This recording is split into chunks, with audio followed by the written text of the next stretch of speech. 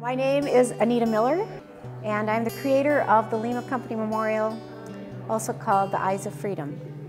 In 2005, the men of Lima Company were killed in the summer between May and August in Iraq.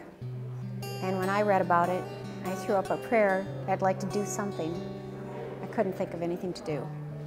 Two months later, I woke in the night with a vision, and the vision showed the paintings just as they are, like this. They were standing in a circle in the Ohio State House Rotunda. When I first contacted the families, they didn't know me from Adam, and it was it was a little awkward, you know, it was a little hard because a total stranger coming up to them, wanting to talk to them about their son who was just killed a couple, I mean, it was, it was uncomfortable. Through that process, they started getting more and more comfortable.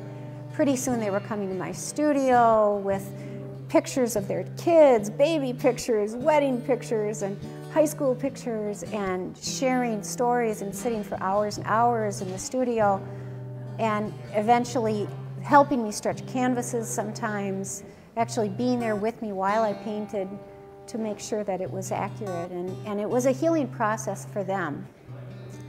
It was a cathartic thing to be able to speak about their son with somebody who really wanted to hear. And uh, as a neutral party, because I didn't know any of them, you know, it was almost like a, a way they could talk it out.